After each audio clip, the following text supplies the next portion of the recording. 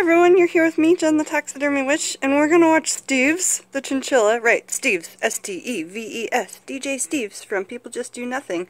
And uh, let's watch him take a dust bath. He hasn't had one in a while, he's really excited. Come on, Steves! Come on, bud! It's down here. He's quick.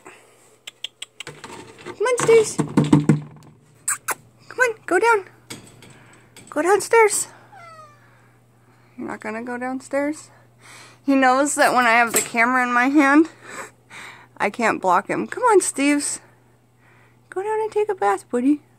Oh, you little squat. Fine. Yeah, go.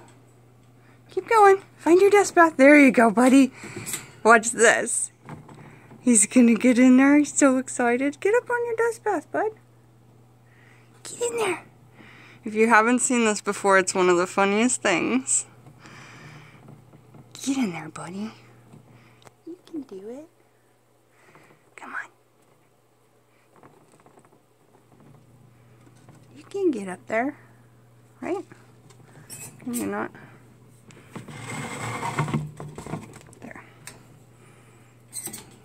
Get in there. Take a bath. Get up there, good boy. What is he doing? Yeah, get in there. Okay, here we go.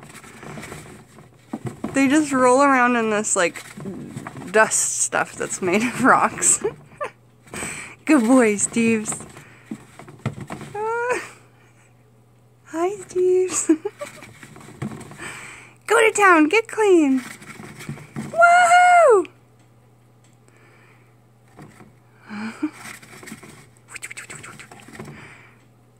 Sometimes he really gets crazy in there like does three flips in a row and then it, it falls off the ledge. but he's safe in that little bubble.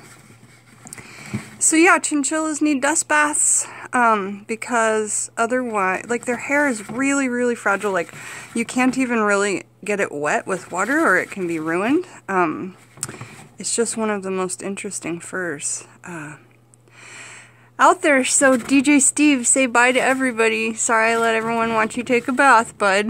it's the cutest. Bye, everybody.